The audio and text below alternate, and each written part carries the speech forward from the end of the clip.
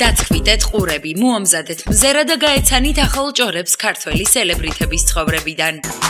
ყველაფერთან ერთად შალვა რამიშვილიც იცვლება. ეს უკანასკნელი პოლიტიკური გზიდან გასართობ შემეცნებით ინდუსტრიაში ინაცვლებს. უკვე ცნობილია, რომ ტელეწამყვანი მეცხრე არხზე შუადღის შოუს გააკეთებს.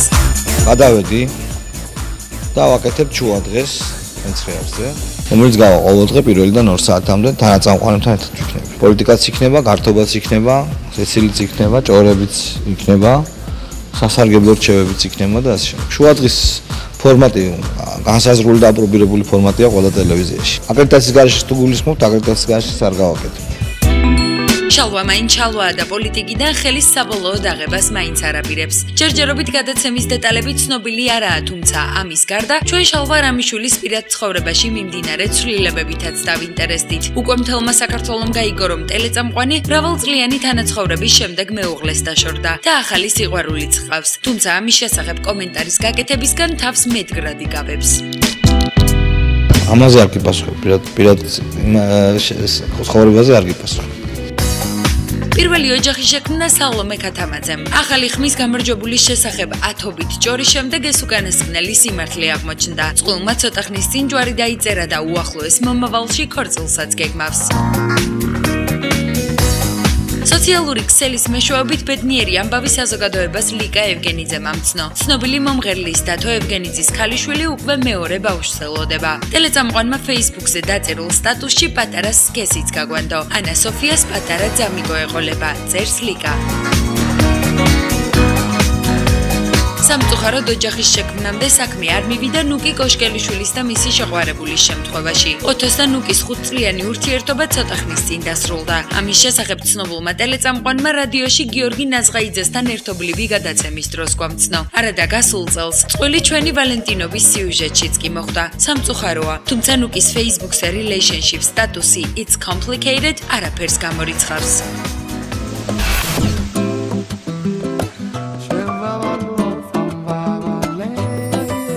ქართული შოუ-ბიზის ძველისძველი წევრი, რომელიც ამჟამად რუსეთს აოგნებს, სულ მალე ოჯახს შექმნის. აჩი ფურცალაძემ პირადი გეგმები ექსკლუზიურად Music Box გაუმხილა. აჩის რჩეული ასევე მოსკოვში მცხოვრები გაია ხაჩიძეა.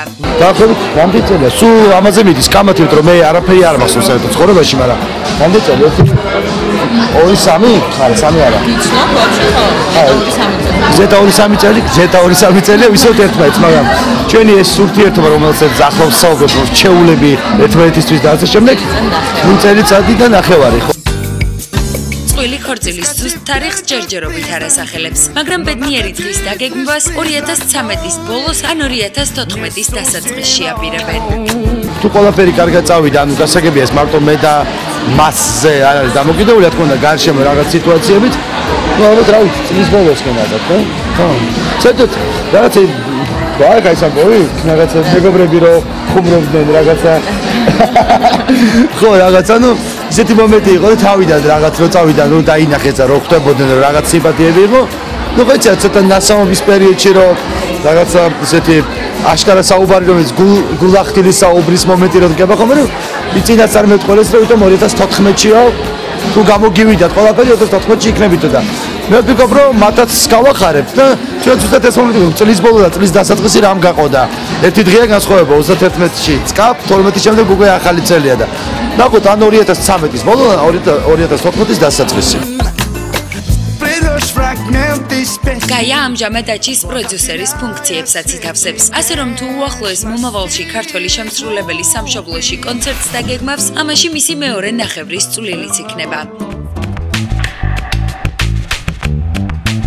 მოკლედ ამჯერად სულ ეს იყო, თუმცა ახალ-ახალი ჭორების მოძიებას ბევრი არაფერი უნდა. თქვენ კი საქმე საერთოდ გიადვილდებათ. თავარია Music Box-ის ეთერში ყოველ საღამოს 19 საათსა და 30 წუთზე News Box-ს დაელოდოთ.